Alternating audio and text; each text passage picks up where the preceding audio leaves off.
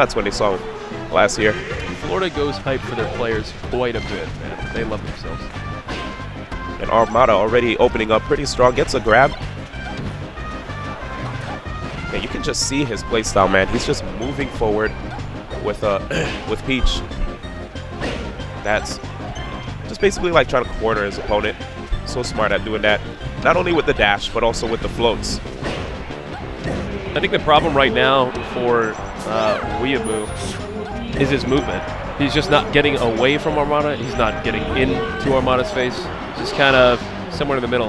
Is that a Nah, definitely not a Stitch face. I'll say one thing, though. That was a really impressive edge guard by Armada, just covering multiple options, staying right in front of the edge, and then double jumping up, then getting the neutral air. And here's another opportunity, but goes, uh, Weeabuu goes right through that uh, down aerial. I feel like if he does a neutral air there, it's, it's a stock. Exactly. Yeah. I agree. Ooh. That's so intimidating, too, you know, just trying to cover the edge right like that. Or gently float in front of you. Yeah, where's Weeabuu, to go?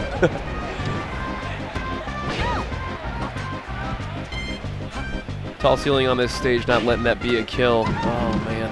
Armada's follow game. Oh, that tech chase. Oh.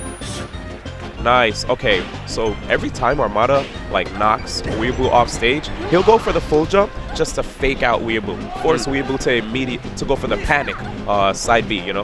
And then once he does that, Armada like retreats back towards the stage against that. Oh wow, Weeabuu getting a stock though. All right, okay. Um, and he's got the percentage, so we're in there. And that was good recovery to avoid the turnip by Weeabuu, but he's off stage. Yeah, I feel like Armada is just, a, man, Peach was just played so differently, I feel, before he kind of busted out into the scene.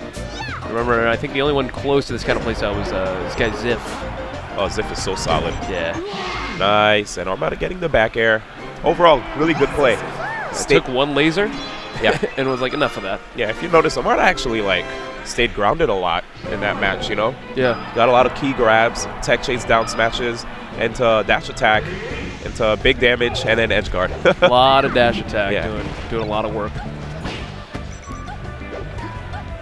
I have a feeling here, though, that, that Weeabuu's, um, his technical game just isn't quite on the level it needs to be to compete with someone like Armada. Well, yeah, we definitely didn't get to see him have an opportunity to even uh, to showcase that, if, if you ask me. Also true. Yeah. Oh, good stuff, good stuff. Clean.